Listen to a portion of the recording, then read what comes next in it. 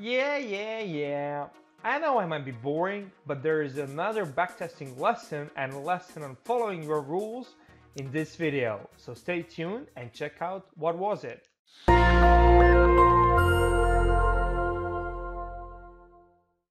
Good morning everybody and welcome back to my morning forex market analysis. So without further ado, I will just go straight into the content and do the analysis myself.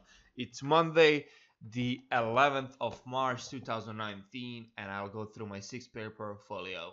So here we are on USD CAD and as far as I see there is nothing much but I do see potential patterns. Uh, this is one, it is ugly one and I, I don't personally I don't like like, like the look of it but technically it's it's the pattern so if, if the price action comes here I'll definitely be looking to get engaged okay so I'm sorry. Again all, always wrong alerts.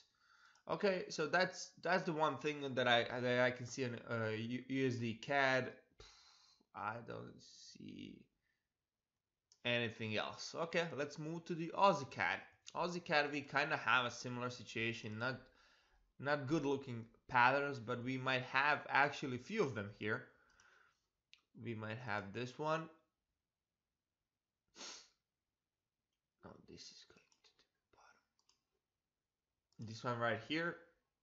So Gartley I'm not supposed to trade on this pair as you can see as on my reminder and we can have another Gartley which I'm not supposed to trade on this pattern on this pair for me. So this would be those two but I will not be engaging in them because I'm not supposed to trade them besides this on this pair at least I don't see anything else that I can get engaged with let me let me clear this out uh yeah I don't see guys I don't see anything else here right now so I'm just gonna move forward. Okay, Aussie USD. Here I'm not supposed to trade BATs, but I can trade Gartleys. So let's see, do we have a potential? This might be something also bad looking, but Well, I'm not supposed to trade BATs, but we will see what's gonna happen today if this kind of this kind of stuff happens. Okay. So in the meanwhile, I can yeah bat not, but this no yeah. Not gonna set the alarms because bat will probably not turn into it will, I will have my eye on it throughout the day. So yeah, we will definitely see. Euro dollar, one of the pairs where I can trade the ciphers as well. So ciphers, bats, and Gartleys. And I don't see besides this very, very, very small one. This might be maybe cipher. Yeah, so this might be a cipher pattern and I will definitely be engaging in, in it if, if it happens. Uh, what is the risk reward? I can lose 7 pips and I can win 7 pips plus... Okay, I'll probably be engaging in it. Let's see if it touches the B leg. I'm gonna set myself the alarm. Oh, no, another alarm. B leg. Uh, yeah let it notify me that something is happening. Okay, then we have pound dollar. Uh, here I can trade bats and Gartleys. Where, where is my reminder? Here, no bats, just bats. I'm not supposed to trade Gartleys. That's why, guys, I don't I don't like to remember this kind of stuff because you can easily make mistakes. I always do have my reminders with me, and I just slide them. Okay, so I will also add reminders to Euro Dollar and to the Pound Yen where I can trade ciphers. Besides, yeah, I don't see, I don't see, yeah, nothing, nothing here for me. Yep, pound yen, also a pair. Yeah, so last time I did the analysis here because Friday and uh, Thursday last week was very slow.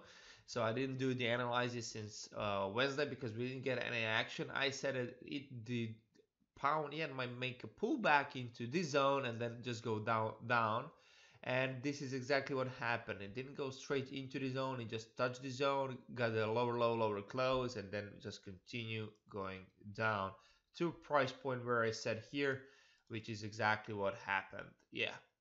So what i what am i expecting now? Let's see.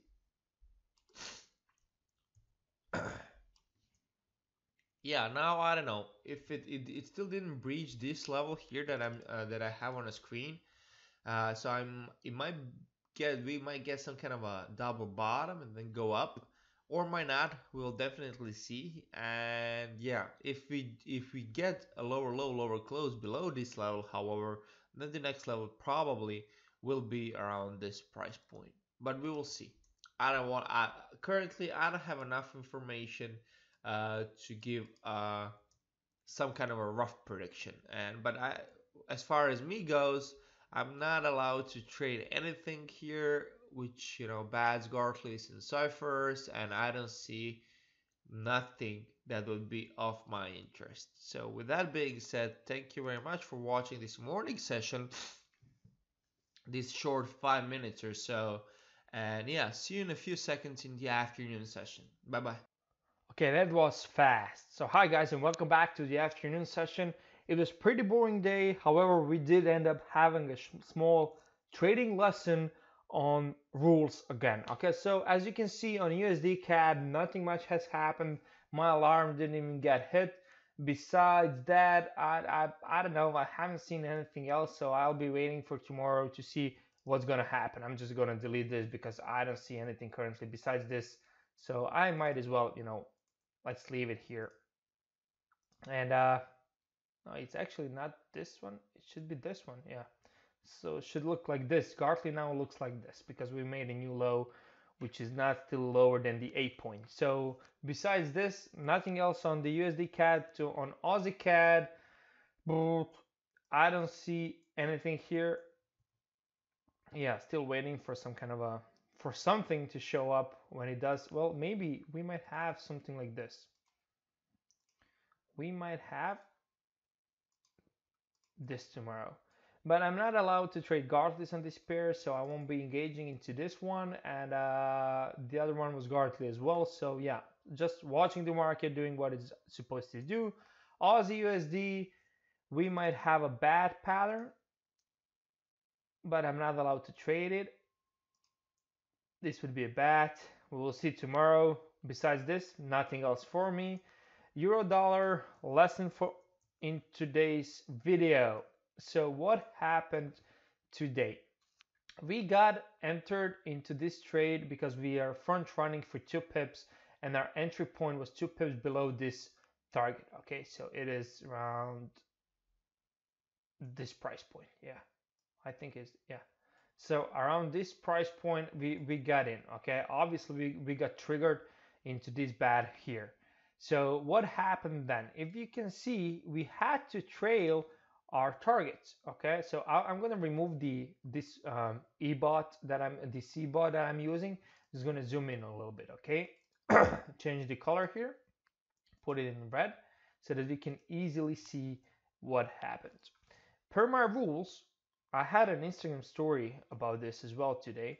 I had to trail my stop loss to break even because the price action on this retracement on a lower time frame that's why we have this wick here and this pull pull down push down actually came within one pip to my targets so i had to trail my stop loss to break even and then I got stopped out. But I was not in front of my screens because I was in a meeting or uh, of some sort uh, in my office and I wasn't able to do so. So when I got back from the office, I've seen that my the price price action almost hit my targets, came one pip to it, and I didn't close it. I didn't close it, so I had to manually close the position, which I ended up doing in uh, on a story on Instagram. And if you can check out this here history, I did close the euro dollar sell positions today for minus what 0.2 pips and 0.3 half of a pip I lost but I stick to my trading plan because I had to do it. Otherwise I would get stopped I would get stopped out for a bigger loss of I don't know maybe 10 pips per position. So it would be a loss of 20 pips per 20 pips in total which is something else because right now I lost half of a pip. So in essence, I kind of make money and I feel good for myself because uh, you know I stuck to my rules and they they again proved to be correct. Uh, besides this, on pound dollar, nothing here for me for the entire day. And then we have pound yen. again, I did I did say that we might get a double bottom. We didn't get one. We just you know rallied back up into this. I I say I think it might be yeah good shorting opportunity here, but I wouldn't get short because we, we didn't uh, uh, retest. I, I don't know. I don't know. I'm not trading this. It's still a lot of things that I don't know about this kind of trade, so I won't say anything. In terms of what I see, I see nothing here for me, so I won't be engaging. And with that being said, guys, yeah, that's it. Uh, this is a daily forex market analysis that I do each and every day. When there is some kind of an action or some kind of a lesson that I can learn, teach you, then I do a video. And if it's not, there is no action, I will not upload a video to YouTube. Uh, if you're new here, consider subscribing. I do uh, record a bunch of other type of videos about financial education, stock investing, and forex trading in general. I also talk about passive income, interview a lot of traders on this channel as well. Uh, yeah, with that being said, thank you very much for staying until the end of this video and speak to you tomorrow morning. Bye bye.